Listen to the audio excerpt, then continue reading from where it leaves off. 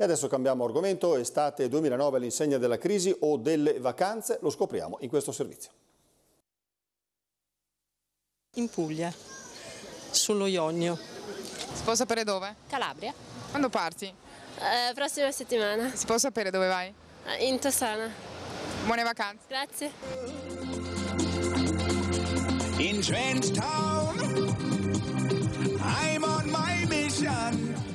Sì, in barba alla crisi. Alle ferie proprio non si può rinunciare e così ecco pronta la parola d'ordine mare, mare e ancora mare. Sì, perché questa estate 2009 per gli altoatesini è all'insegna di spiagge incontaminate e tramonti da togliere il fiato.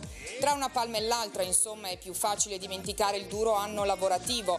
Grecia, Portogallo e le Baleari, le prime della lista, le mete preferite per giovani coppie e single alla ricerca di un po' di sano relax. I bolzanini non rinunciano a spostarsi, la vacanza è sempre una ricerca di benessere, l'offerta si è ampliata nel frattempo, di conseguenza ce n'è per tutti i gusti. Diciamo che forse si avvisa una disponibilità di vacanza più all'ultimo momento rispetto alla classica prenotazione anticipata che invece esisteva più facilmente anni addietro. Più o meno le mete più gettonate quali sono?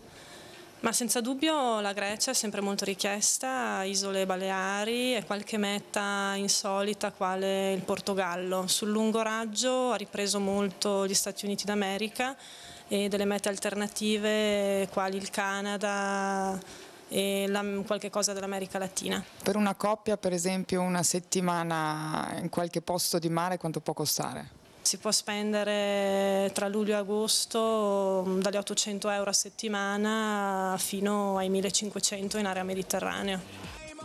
Tra le mete preferite degli altoatesini, mare al primo posto, poi montagna e infine lago. Le capitali europee è meglio visitarle in altri periodi dell'anno. Ora si ha solo bisogno di una spiaggia, un lettino e un po' di tintarella, ingredienti perfetti per un cocktail firmato estate 2009.